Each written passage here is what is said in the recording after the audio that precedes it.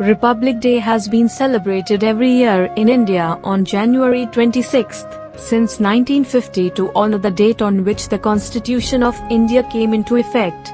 The constitution was adopted by the Indian Constituent Assembly on the 26th of November 1949 and came into effect on the 26th of January 1950 with a democratic government system, completing the country's transition towards becoming an independent republic.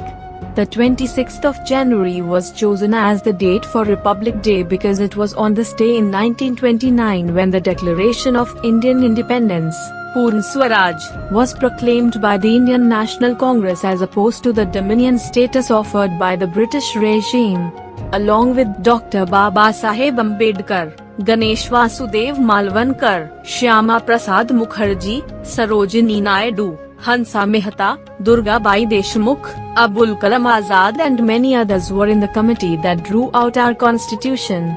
On the eve of Republic Day, the President of India distributes Padma Awards to the civilians of India every year. These are the second highest civilian awards in India after Bharat Ratna. This year India marks her 72nd Republic Day. Mentor International School wishes you all a very happy Republic Day. Jai Hind.